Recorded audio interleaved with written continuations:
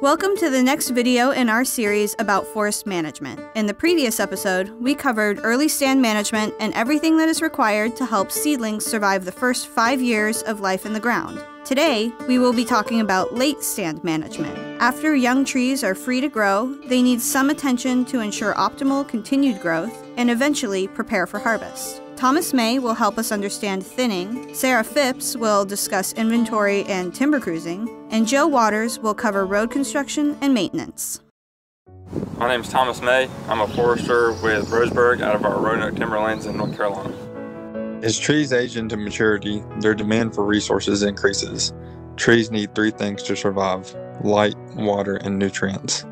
In a stand that is overstocked with too many trees per acre or trees too close together, the individual trees are in competition with one another for these resources. That increased competition has a negative impact on their growth. In nature, overstocked stands will thin themselves through this competition. The dominant trees survive and the non dominant trees die. However, this can take years and hinders the overall growth of the dominant trees while also building up fuel loads in the understory.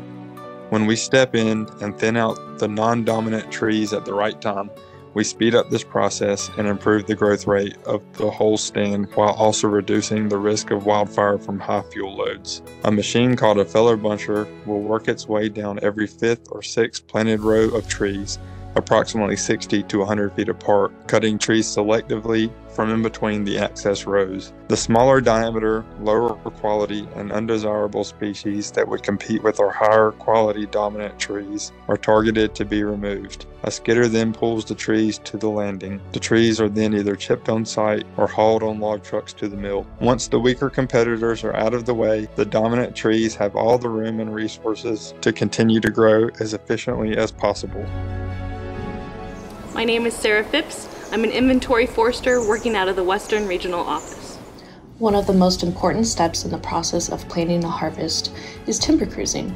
We need to know what we have on our land in order to make decisions about when and how to harvest. Timber cruising involves measuring the characteristics of a sample of trees and then extrapolating that sample data across a whole stand of trees of similar type and age.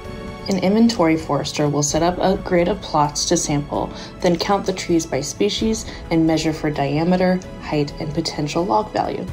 A few of the best trees in the stand are sampled for age using a special tool called an increment bore, which cuts a plug of wood from the tree where the forester can count the annual growth rings to determine the tree's age. All of this data is brought back to the office where it is summarized in an estimate of the total volume of wood for that individual stand is calculated. Timber Cruise data can be used immediately for an upcoming harvest, or it can be extrapolated using a model to project volume growth as a stand ages to help us plan for future harvests. My name is Joe Waters. I'm a forest engineer. I work out of our Western Regional Office. Forest engineering is another crucial step in preparing for harvest. Many of these stands are in remote locations far from any major existing road systems, and in order to operate in these areas, we need to access them. We have teams of forest engineers who are specifically trained to navigate the unique challenges that come with designing and constructing roads in the forest. There are regulations and best management practices for how roads and landings should be designed to prevent environmental issues, mostly revolving around water quality and soil protection. A poorly designed road or stream crossing can cause excessive sediment and debris to enter the waterway, or potentially obstruct the natural flow of the stream. We use culverts for most of our stream crossings. These culverts are installed in line with the natural path of the stream, allowing water to flow unobstructed underneath the roadway. Throughout the year, our engineers and foresters maintain these culverts to make sure they aren't damaged and are in working order. Another important part of road construction that must be carefully designed is the landing. Landings are large flat areas used for processing and loading the harvested logs onto trucks. The landing must be designed to allow enough room to safely process logs while supporting the weight of the equipment, all while minimizing soil compaction and sedimentation. Our engineers are very skilled at designing and maintaining our road system to protect soil and water quality while providing access to our timberlands in preparation for harvest. From thinning operations and inventory analysis to road construction and maintenance, our foresters and engineers have a lot of work to do as a forest stand approaches the harvest age, all of which improves forest health and productivity not just for the next step in the process, but for the long run. Thank you for joining us for the late stand management episode of our forest management education series. Next time, we will be learning all about timber harvest.